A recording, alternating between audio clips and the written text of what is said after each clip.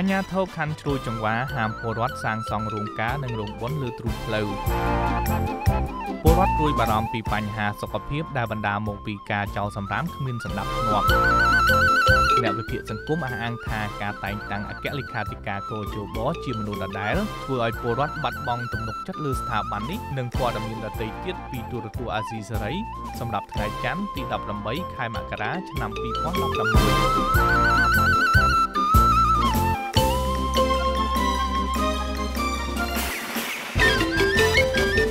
ពីរដ្ឋធានីវ៉ាស៊ីនតោនខ្ញុំបាទយុនសាមៀនសូមជម្រាបសួរលោកអ្នកនាងកញ្ញាទាំងអស់ជាទីមេត្រីយើងខ្ញុំសូមស្វាគមន៍លោកអ្នកនាងក្នុងកម្មវិធីផ្សាយទូរទស្សន៍អាស៊ីសេរីជាបន្តទៅទៀតនេះខ្ញុំបាទសូមជូនព័ត៌មានពិស្ដា របាយការណ៍របស់សាលារាជធានីភ្នំពេញបានឲ្យដឹងថាសម្រាមជិត2000តោនត្រូវបានទម្លាក់នៅក្នុងរណ្ដៅសម្រាមជារៀងរាល់ថ្ងៃប៉ុន្តែបើក្រឡេកមើលទៅការចោលសម្រាមរបស់ប្រជាពលរដ្ឋទៅវិញហាក់ដូចជាពួកគេមិនយកចិត្តទុកដាក់ក្នុងការវេចខ្ចប់ឲ្យបានត្រឹមត្រូវនោះទេបាទសូមទស្សនាវីដេអូរបស់លោកជួបសេរីរតស្ដីពីការចោលសម្រាមនៅក្នុងរាជធានីភ្នំពេញប្រសិនបើយើងទាំងអស់គ្នាចាត់ទុកផ្ទះកន្លែងធ្វើការរបស់យើងដូចជាធុងសម្រាមកម្ពុជានឹងខ្លាចទៅជាយ៉ាងនេះ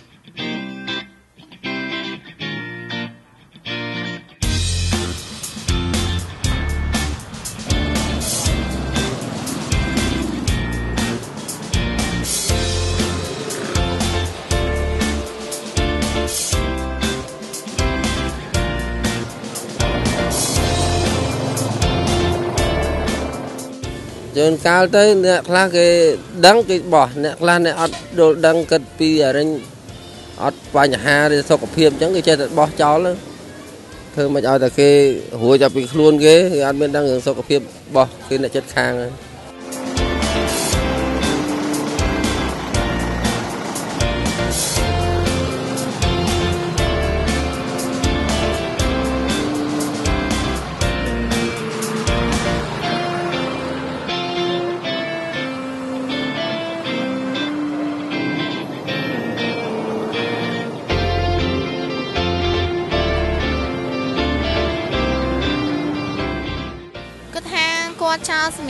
ញ៉ៃញ៉ៃ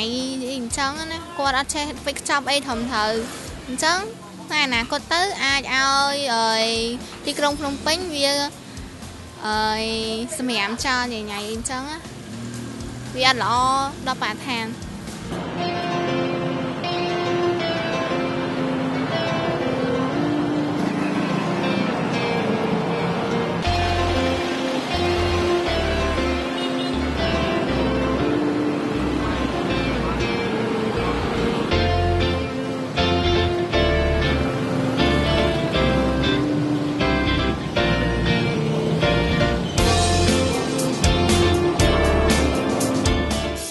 បញ្ហាច្រើននៅក្នុងមូលហេតុនៃការចោលសម្រាមហ្នឹងទី1ដោយសារតែយើងមើលឃើញក្រុមហ៊ុនប្រមូលសម្រាមដូចក្រុមហ៊ុនស៊ីនទ្រីនេះពុំទាន់មានកន្លែងដែលត្រូវដាក់ធុងសម្រាមឲ្យជាពលរដ្ឋហ្នឹងឲ្យបានឲ្យបានច្រើនឲ្យបានគ្រប់កន្លែងដែលជាពលរដ្ឋត្រូវចោលទេទី2ជាពលរដ្ឋខ្លួនឯងហ្នឹងក៏អញ្ចឹងដែរដោយសារលោកពុំមានការយល់ដឹង ផ្នែកនៃការនិយាយរួមខ្លួនឯងហ្នឹងមិនមិនយកចិត្តទុកដាក់ក្នុងការដែលដឹងអំពីខាតា គួរចោលសម្រាប់នៅកន្លែងណាវិចខ្ចប់អីជាដើមហើយទី3ដោយសារតែយើងអត់មានច្បាប់គ្រប់គ្រងការដាក់ពិន័យទៅលើអ្នកដែលចោលសម្រាប់ហ្នឹងហើយអាហ្នឹងហើយដែលធ្វើឲ្យមានបញ្ហា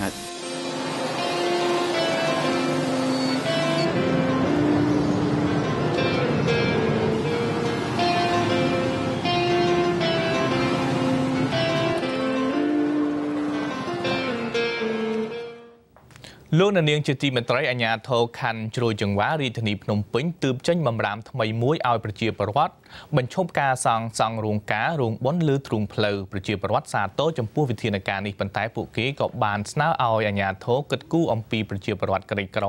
ដែលពុំមានដែលពុំមានលទ្ធភាពទៅរកទីផ្សារផ្សេងអ្នកស្រីសុជីវីរាយការណ៍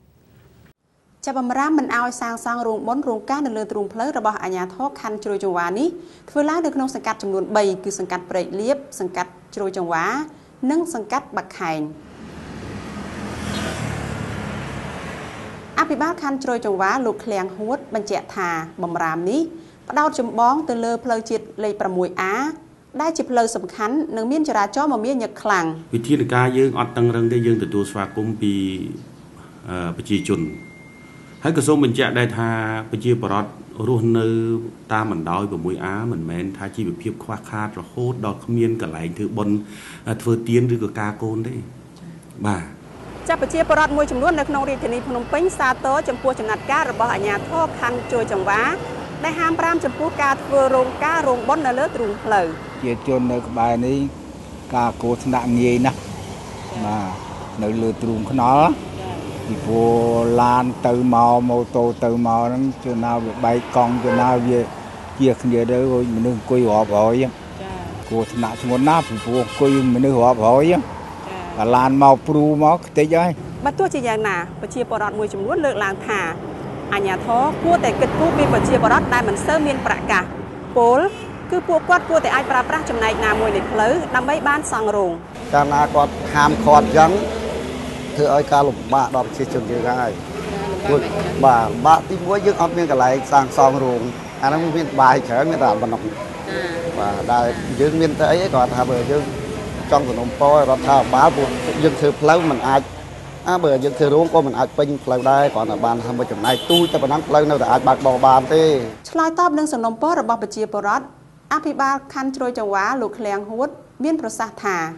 លោកនឹងពិចារណាចំពោះសំណុំពររបស់ប្រជាពលរដ្ឋហើយនឹងផ្ដល់ឱកាសឲ្យប្រជាពលរដ្ឋបានប្រើប្រាស់ទីធ្លាទាំងឡាយដែលមាននៅក្នុងមូលដ្ឋាននេះប្រសិនបើពួកគាត់ស្នើសុំកន្លែងធ្វើបុណ្យយើងមានកន្លែងឲ្យគាត់ឧទាហរណ៍កន្លែងវត្តអារាមក្តីឬក៏ស្នាក់ការរាជការក្តីដូចនៅសាលាខណ្ឌខ្ញុំនេះក៏មានប្រជាពលរដ្ឋលោកមកសុំដាក់ធ្វើបុណ្យការអីចឹងដែរយើងអនុញ្ញាតជូនយើងអត់មានទាកម្រៃអីគាត់ទេ ដូចយើងដឹងហើយការគោរពច្បាប់ការគោរពនៅសារាចរឬគោលការណ៍ណែនាំរបស់រដ្ឋាភិបាលក៏ដូចជាអាជ្ញាធរថ្នាក់ក្រោមនេះគឺថាកុំធ្វើស្រែកតែងចិត្តកុំធ្វើតាមនឹកឃើញអំណាចផ្ដល់ឲ្យទៅគុំសង្កាត់នឹងច្រើនពេកក្នុងការអនុវត្តនេះអនុវត្តនោះតម្រូវឲ្យជាបរដ្ឋធ្វើខុសគ្នាអញ្ចឹងវាវាអត់យុត្តិធម៌សម្រាប់សង្គមជាតិយើងទេហើយជាបរដ្ឋគាត់មិនអស់ចិត្តទេអញ្ចឹងបើសិនជាការតម្រូវឲ្យគាត់អនុវត្តថាมันអាចសាងសង់អីច្រើនពេក ប៉ះពាល់ទៅដល់ផ្លូវទេអាចជាមួយកំណាត់ឬក៏ផ្នែកណាមួយនោះគឺថាយើងត្រូវអនុវត្តទាំងអស់គ្នាឆ្លើយតបនឹងការលើកឡើងនេះមន្ត្រីនាំពាក្យនៃសាលារាជធានីភ្នំពេញលោកនងនីម៉ងមានប្រសាសន៍ថាអញ្ញាធរមិនដែលប្រងើយកន្តើយឡើយក្នុងការរក្សាសណ្ដាប់ធ្នាប់និងបញ្ជៀសការកកស្ទះចរាចរណ៍ប៉ុន្តែលោកថាមកដល់ពេលនេះសាលារាជធានីភ្នំពេញកំពុងតែពិចារណាចំពោះការអនុវត្តច្បាប់ និងប្រពៃណីទំនៀមទម្លាប់របស់ប្រជាពលរដ្ឋក្នុងការប្រារព្ធពិធីផ្សេងផ្សេងប៉ុន្តែអ្វីដែលសំខាន់គឺយើងត្រូវការមានការដូរអេរិយាបថមួយចំនួនបាទនេះវាជាការបញ្ញត្តិស្មារតីមួយឲ្យបងប្អូនប្រជាពលរដ្ឋបានដឹងដែរថាបើសិនតែយើងធ្វើបុណ្យយើងធ្វើរោងបុណ្យរោងអីហ្នឹងក៏ថាទៅទៅមានការស្នើសុំពីអាជ្ញាធរខណ្ឌអាជ្ញាធរសង្កាត់ដើម្បីគេរៀបចំដាប់ណប់ជូនផងហើយនឹងគេអាចជូនទៅតាមកម្រិតណាមួយដែលគេអាចកល់ជូនបានបាទពីចំការផ្លូវទាំងអស់វាខុសៗគ្នាវាអាចចំណែកនៅក្នុងច្បាប់ស្តីពីផ្លូវថ្នល់មាត្រា70ចែងថាជនឬនីតិបុគ្គលនឹងត្រូវពិន័យ ចំពោះការរៀបចំសកម្មភាពនិងវិធីផ្សេងផ្សេងនៅលើដងផ្លូវថ្នល់ដោយគ្មានការអនុញ្ញាតពីអាជ្ញាធរមូលដ្ឋានពិតមែនថាផ្លូវច្បាប់បានចែងបែបនេះចំណុចសំខាន់ដែលមានការរិះគន់និងរារាំងដល់ការអនុវត្តច្បាប់ឲ្យបានពេញលេញនោះគឺការអនុវត្តច្បាប់ដោយមិនបានស្មារភាពគ្នាចានីខ្ញុំសុជីវីទូរទស្សន៍អាស៊ីសេរីរាយការណ៍ពីរាជធានីភ្នំពេញ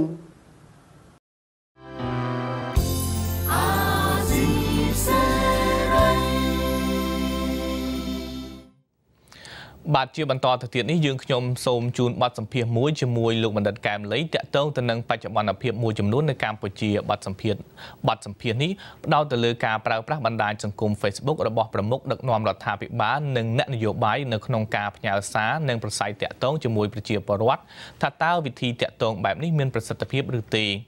តកតងទៅនឹងព្រឹត្តិការណ៍នយោបាយវិញលោកកែមលីក៏នឹងវែកញែកជូនលោកណានៀងថាតើយុទ្ធសាស្ត្រថ្មីសម្រាប់ឆ្នាំ2016របស់គណៈបកសង្គ្រោះជាតិដែលថានឹងមិនរិះគន់បុគ្គលទៀតអាចជួយកែលម្អស្ថានភាពនយោបាយបានដែរឬទេបាទបទសម្ភាសន៍នេះក៏ផ្ដោតទៅលើថាតើអគ្គលេខាធិការថ្មីនៃគណៈកម្មាធិការជាតិរៀបចំការបោះឆ្នោតអាចជួយអាចជួយស្ថាប័ននេះបំពេញការងាររៀបចំការបោះឆ្នោត ឲ្យអាចទទួលយកបានឬក៏នៅតែជាឧបករណ៍របស់គណៈបកប្រជាជនកម្ពុជាដដែលសូមអញ្ជើញលោកនាងទស្សនាបទសម្ភាសន៍នេះរវាងលោកកែមលី និងលោកជុនច័ន្ទបុតដូចតទៅរយៈពេលចុងក្រោយនេះយើងសង្កេតឃើញថាអ្នកនយោបាយមានប្រធានគណៈបកនយោបាយមានប្រមុខដឹកនាំរដ្ឋាភិបាលចាប់ផ្ដើមប្រើប្រាស់បណ្ដាញសង្គម Facebook ដើម្បីធ្វើការតាក់ទងជាមួយនឹងប្រជាពលរដ្ឋវិញ ហើយជួនកាលមានផលចំណេញដែរឃើញគាត់បានឆ្លើយតបទៅនឹងសំណូមពររបស់ប្រជាពលរដ្ឋហើយថ្ងៃនេះយើងមានវាគ្មិនកិត្តិយសមួយរូបគឺលោកបណ្ឌិតកែមលីដែលជាអ្នកស្រាវជ្រាវសង្គមខ្ញុំបាទចង់ឲ្យលោកកែមលីជួយបកស្រាយមើលថាតើការដែលប្រមុខរដ្ឋាភិបាលហើយនិងអ្នកនយោបាយចាប់ប្រើប្រើបណ្ដាញសង្គម Facebook ដើម្បីធ្វើការតាក់ទងជាមួយប្រជាពលរដ្ឋនឹងហើយឆ្លើយតបភ្លាមភ្លាមបែបហ្នឹងតើជារបៀបមួយដែលធ្វើឲ្យមានប្រសិទ្ធភាពក្នុងការតាក់ទងក្នុងការឆ្លើយតបទៅវិញឲ្យទាន់ទៅតាមតម្រូវការទៅតាមសំណូមពររបស់ប្រជាពលរដ្ឋទេឬមួយក៏មានលក្ខណៈវិជ្ជមានឬអវិជ្ជមានបែបណាបាទសូមជឿខ្ញុំមើលទៅជាបរិបទថ្មីមួយហើយជាការធ្វើបដិវត្តផ្លូវចិត្តក្នុងចំណោមមេដឹកនាំនយោបាយបាទភាគច្រើនយើងសង្កេតឃើញច្រើនគាត់អឺមានការរឹងត្អឹង មិនទទួលមិនស្ដាប់យោបល់របស់ប្រជាពលរដ្ឋណាបាទពីមុនណពីមុន Facebook ហ្នឹងបាទប៉ុន្តែនៅពេលដែលមានការរីចម្រើនចេះជាមធ្យោបាយមួយល្អសម្រាប់ទំនាក់ទំនងដោយផ្ទាល់ឬក៏ដោយប្រយោលជាមួយនឹងមេដឹកនាំនយោបាយប៉ុន្តែប៉ុន្តែយើងអាចចោលថាយើងបានឆ្លើយទៅនឹងសេចក្តីត្រូវការរបស់ប្រជាពលរដ្ឋប៉ុន្តែដល់ពេលប្រជាពលរដ្ឋដែលមានបញ្ហាធ្វើកាត់បាតកម្មកោតកម្មឬមួយក៏គឺការកវ៉ាអីយើងអត់ យើងអត់យកអាមតិទាំងអស់នឹងអត់យកសេចក្តីថ្លែងការណ៍ទាំងអស់នឹងយកមកធ្វើការឆ្លើយតបអាហ្នឹងក៏ក៏មិនទទួលមានប្រសិទ្ធភាពដែរលោកបណ្ឌិតចាប់ផ្ដើមមិញថានេះគឺជាការធ្វើបដិវត្តផ្លូវចិត្តខ្ញុំអត់យល់សោះមានន័យយ៉ាងម៉េចទៅនៅពេលដែលថ្នាក់ដឹកនាំតាក់ទងជាមួយប្រជាពលរដ្ឋតាមបណ្ដាញសង្គម Facebook ថាធ្វើបដិវត្តផ្លូវចិត្តជាទូទៅបើយើងនិយាយពីបកកុម្មុយនីសវិញគេមានអាមโนគមវិជ្ជា មានគោលការណ៍របស់បក ហើយគោលការណ៍របស់បកហ្នឹងច្រើនតែបញ្ជាពីលើហើយធ្វើតែម្ដងអត់ខ្វល់នឹងការរអ៊ូរទាំអត់ខ្វល់នឹងមតិរបស់ប្រជាពលរដ្ឋទេប៉ុន្តែឥឡូវអាចថាមកជ្រុងគាត់អាចទទួលយកអមតិរបស់ប្រជាពលរដ្ឋហើយនឹងឆ្លើយតបទៅវិញ ក្នុងករណីសំស្របណាមួយប៉ុន្តែកន្លងមកនេះដូចទីហោជាក់ស្ដែងច្បាប់ចរាចរណ៍នេះ ការឆ្លើយតបមួយដែលมันមាន ការពិភាក្សាគ្រប់ជ្រុងជ្រោយ ហើយចេះតែឆ្លើយតបដើម្បីបារម្ភខ្លាចពីការបាត់បង់ប្រជាប្រិយភាពវាធ្វើឲ្យមានកំហុសឆ្គងទៅវិញខ្ញុំឧទាហរណ៍ថាអត់ឲ្យអ្នកជិះម៉ូតូដែលមានកម្លាំង125ចុះអត់ធ្វើបានបើកបរអញ្ចឹងវាធ្វើបាត់បង់ការទទួលព័ត៌មាន ការអប់រំអំពីច្បាប់ចរាចរណ៍ណាការឲ្យទៅយកលុយវិញតាមពិតប្រជាជនគាត់ពេញចិត្តដែរគាត់សប្បាយចិត្តដែរប៉ុន្តែក្នុងន័យបច្ចេកទេស ថាតើវាសមស្របប៉ុណ្ណាអាហ្នឹងគឺវាអាចវាអាចផ្ដល់ផលអវិជ្ជមានច្រើនជាងវិជ្ជមានបាទដូច្នេះអឺអ្វីដែលលោកនាយករដ្ឋមន្ត្រី បានធ្វើឲ្យឆ្លើយតបតាមបណ្ដាញសង្គម Facebook ហ្នឹងបើតាមលោកបណ្ឌិតមានប្រសាសន៍មិញហ្នឹងគឺជាការកេងយកប្រជាប្រិយភាពយកចំណេញនយោបាយជិះជាង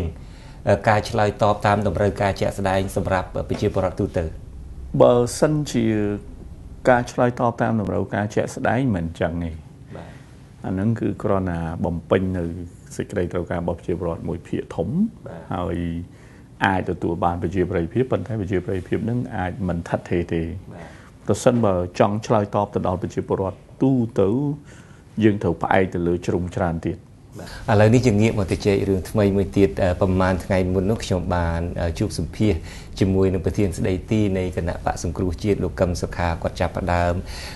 រៀបរាប់អំពីផែនការយុទ្ធសាស្ត្ររបស់គាត់សម្រាប់ឆ្នាំ2016 លោកបណ្ឌិតបានស្ដាប់ទេបទសម្ភាសន៍ថ្ងៃនេះបាទលោកបណ្ឌិតគិតយ៉ាងម៉េចដែរផែនការយុទ្ធសាស្ត្ររបស់គាត់ដែលគាត់ចាប់ផ្ដើមថានឹងលែងរិះគន់បុគ្គលផ្ទាល់លែងរិះគន់លោកនាយករដ្ឋមន្ត្រីអីជាដើមហើយចាប់ផ្ដើមងាកពីរឿងគោលការណ៍ទៅវិញលោកបណ្ឌិតគិតថាវាជាយុទ្ធសាស្ត្រមួយដែលធ្វើឲ្យគណៈបកសង្គ្រោះជាតិអាចស្ដារមុខមាត់បានវិញហើយអាចនៅតែមានការគ្រប់គ្រងពីអ្នកគ្រប់គ្រងរបស់គាត់ដដែលហើយឬមួយក៏បង្កើនថែមទៀតទេយុទ្ធសាស្ត្រថ្មីនេះខ្ញុំមើលទៅ វាអាចមកផ្នែកធំដែរបើសិនជាពាក្យពេចន៍របស់គាត់នឹងคล้ายទៅជាការអនុវត្តជាក់ស្ដែងឧទាហរណ៍ថាគាត់ធ្វើកំណែតម្រង់ទីក្នុងគណៈបកធ្វើយ៉ាងម៉េចឲ្យគណៈបកនឹងមានប្រជាធិបតេយ្យពិតប្រាកដហើយមានផែនការយុទ្ធសាស្ត្រថា ចាប់ផ្ដើមជជែកគ្នាពីគោលនយោបាយពីរបៀបដឹកនាំជាជាងពីលក្ខណៈបុគ្គលបើសិនជាបើសិនជាពាក្យពេចន៍នឹងវាចូលជាធនធានមានមានឯកសារទៅសេ ហើយចេញជាគោលការណ៍ហើយអនុវត្តធ្វើកំណែតម្រង់អានឹងអាចទទួលបានជោគជ័យច្រើនប៉ុន្តែបើសិនជាពាក្យពេចន៍នឹងវាគ្រាន់តែនិយាយដើម្បីឲ្យព្រោះស្ដាប់វាអាចខាតបង់ទៅវិញបានន័យថាបាត់បង់ចំហណាយើងនិយាយផ្សេងហើយយើងទៅធ្វើផ្សេងហើយបើអាចធ្វើបានទៅវិញអានឹងគឺកាន់តែប្រសើរប៉ុន្តែជាទូទៅយើងសង្កេតឃើញសារនយោបាយ ពាក្យពេចន៍នយោបាយរបស់ថ្នាក់ដឹកនាំហើយនឹងទង្វើរបស់ថ្នាក់ដឹកនាំនយោបាយច្រើននៅដើរផ្ទុយគ្នាបាទអានឹងដែលយើងមើលឃើញក៏ប៉ុន្តែទោះបីយ៉ាងណាក៏ដោយអឺអាចនឹងអាចនឹងទទួលបានប្រជាប្រិយភាពខ្លះក្នុងកលៈទេសៈនេះប៉ុន្តែ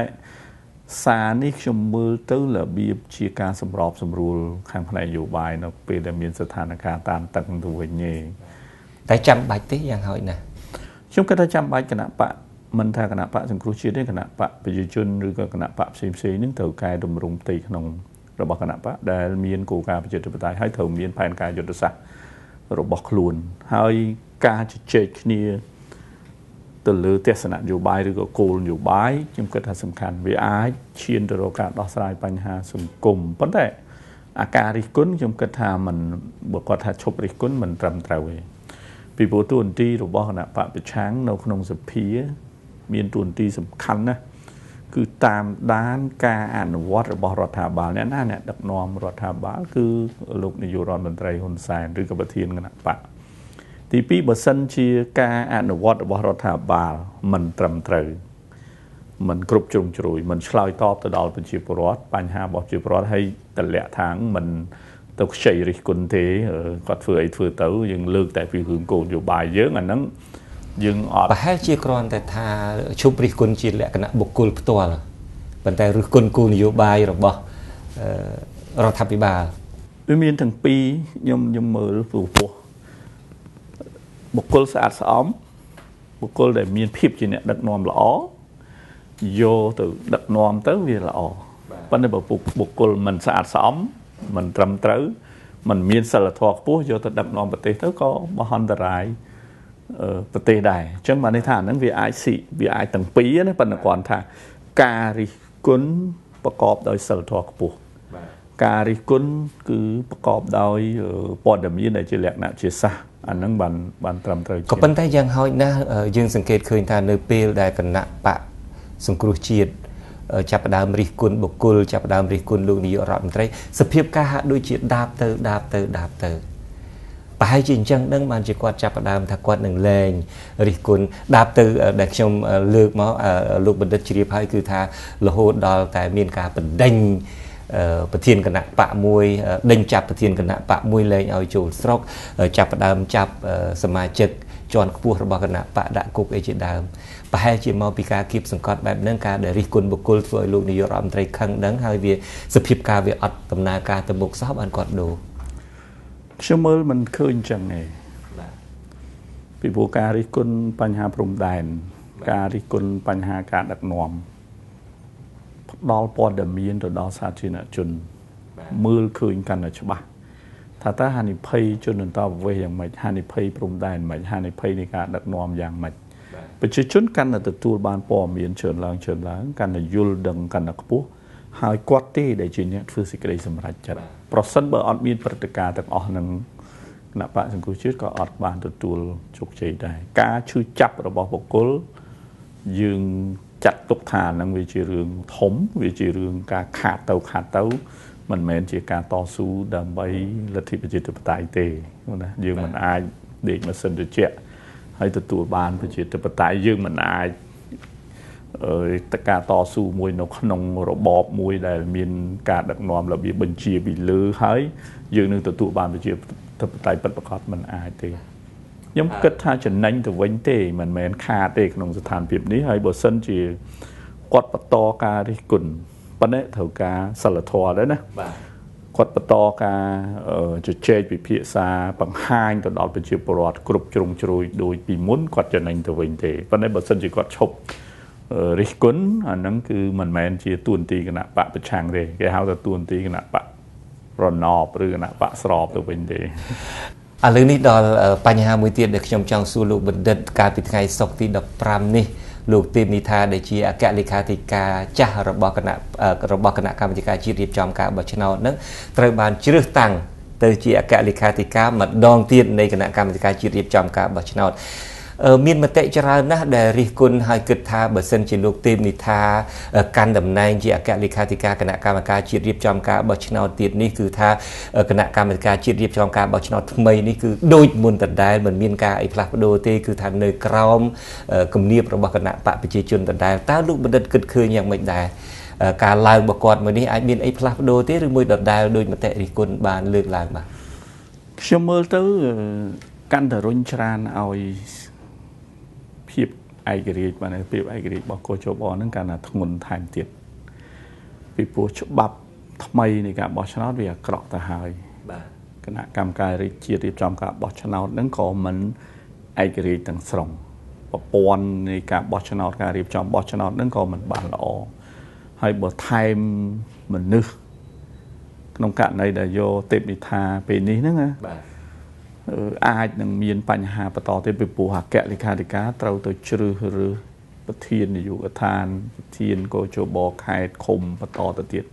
បាទអញ្ចឹងកាលណាយើងរើសមនុស្សមកមិនស្អាតស្អំហើយប្រជាពលរដ្ឋមិនផ្ដល់សេចក្តីទុកចិត្តវាបន្ថែមទៅលើ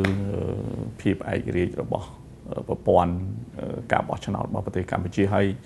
ទំនុកចិត្តហ្នឹងក៏កាន់តែទាបសម្រាប់ប្រជាពលរដ្ឋខ្ញុំមើលឃើញអញ្ចឹង អឺគួរឲ្យសោកស្ដាយបើសិនជាយើងរើសអ្នកដែលមានសមត្ថភាពខ្ពស់ខ្ពស់ដូចជាលោក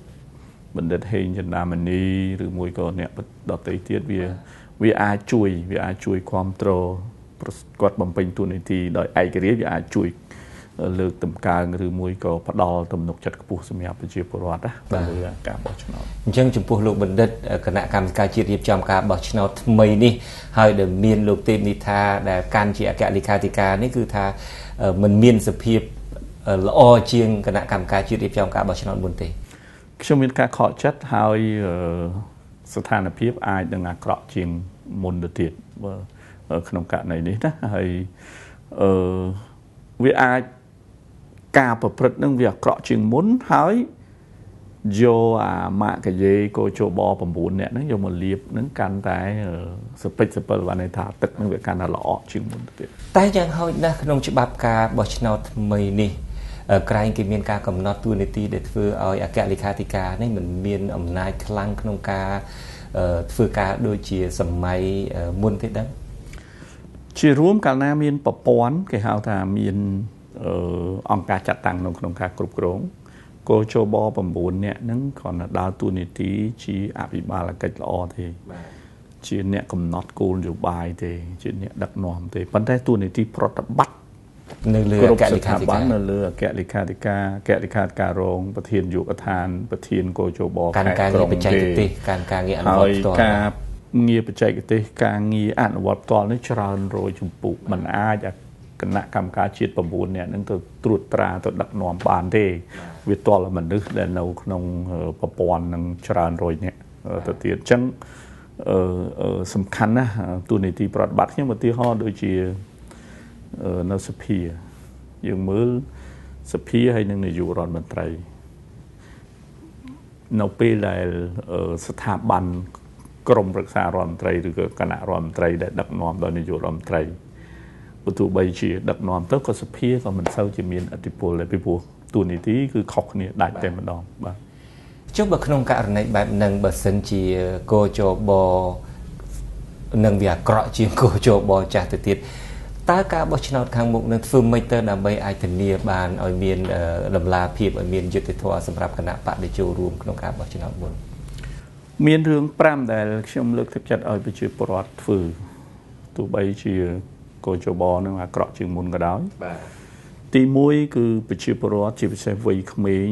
ស្ម័គ្រចិត្តធ្វើជាអ្នកអង្កេតការឲ្យបានច្រើន តាមរយៈគណៈបកនយោបាយ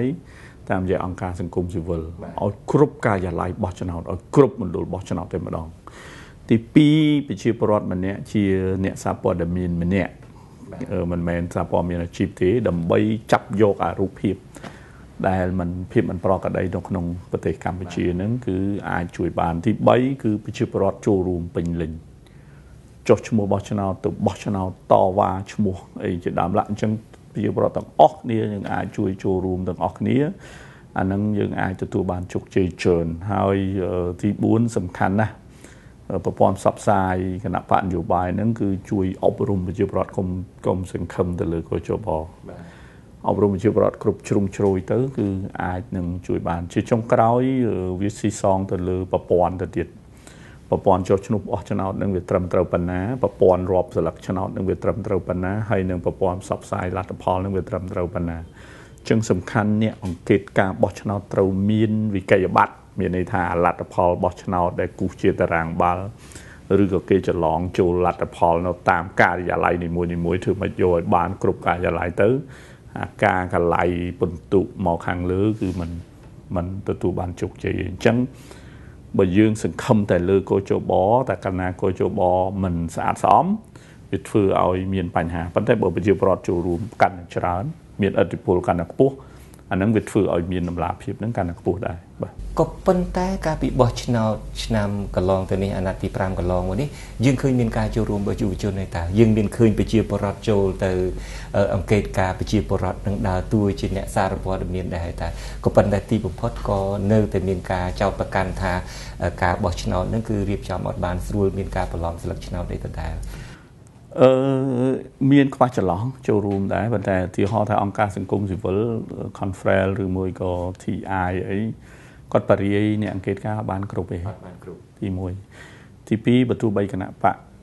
អឺប្រឆាំងគណៈបកផ្សេងផ្សេងគាត់ដាក់អ្នកអង្កេតការរបស់គាត់គាត់យកអាលទ្ធផលហ្នឹងបានទៅជាង50%អាលទ្ធផលចន្លង1101ហ្នឹងអឺអាហ្នឹងអាហ្នឹងរឿងទី2រឿងទី3បើទោះបីជាអឺ យ៉ាងណាក៏ដោយប្រជាពលរដ្ឋដែលមិនបានទៅបោះឆ្នោតច្រើនហើយខុសឈ្មោះច្រើនអញ្ចឹងប្រជាពលរដ្ឋអីដែលត្រូវតាមដានខ្លួនឯង13%ច្រើនណាមួយលានជាងអ្នកបើសិនបើលានជាងអ្នកនឹងគាត់ព្យាយាមមើលគាត់ព្យាយាមតាមដានគាត់ព្យាយាមចុះឈ្មោះគាត់ផ្ទៀងផ្ទាត់ឥឡូវមានអត្តសញ្ញាណប័ណ្ណថ្មីសូមឲ្យប្រជាពលរដ្ឋទៅធ្វើអត្តសញ្ញាណប័ណ្ណទាំងអស់គ្នាបើមិនបានគឺព្យាយាមតវ៉ាទាំងអស់គ្នាចាប់ពីពេលហ្នឹងទៅគឺអាចនឹង អាចនឹងធ្វើឲ្យប្រសើរហើយមួយទៀតគណៈបកនយោបាយគាត់ប្រហែសដែរកាលនោះគឺគាត់មិនបានបរៀនគាត់មិនបានបដោះបដាលអ្នកអង្កេតការនឹងគ្រប់ជ្រុងជ្រោយទេគាត់រើសដាក់មួយថ្ងៃពីរថ្ងៃដំបូងហ្នឹងគាត់រើសដាក់ឲ្យមានគណៈបកផ្សេងបន្លំធ្វើជាអ្នកអង្កេតការរបស់គណៈបកមួយផ្សេងទៀតណាដល់អញ្ចឹងទៅអាលទ្ធផលហ្នឹងភាសាគេហៅ manipulate បានតាមចិត្តនៅការិយាល័យបាទបាទ អរគុណលោកបណ្ឌិតដែលបានឆ្លៀតឱកាសចូលរួមមកពិភាក្សាបច្ចុប្បន្នភាពសង្គមនាពេលនេះបាទសូមជម្រាបលាទៅត្រឹមនេះបាទអរគុណច្រើនលោកនាងកញ្ញាទើបតែបានទស្សនាកម្មវិធីផ្សាយទូរទស្សន៍អាស៊ីសេរីផ្សាយចេញពីរដ្ឋធានី Washington សហរដ្ឋអាមេរិកខ្ញុំបាទយុនសាមៀនព្រមទាំងក្រុមការងារទាំងអស់នៃទូរទស្សន៍និងវិទ្យុអាស៊ីសេរីសូមជូនពរលោកនាងកញ្ញានិងក្រុមគ្រួសារទាំងអស់ឲ្យជួបប្រកបតែនឹងសេចក្តីសុខគ្រប់ប្រការខ្ញុំបាទសូមអរគុណនិងសូមជម្រាបលា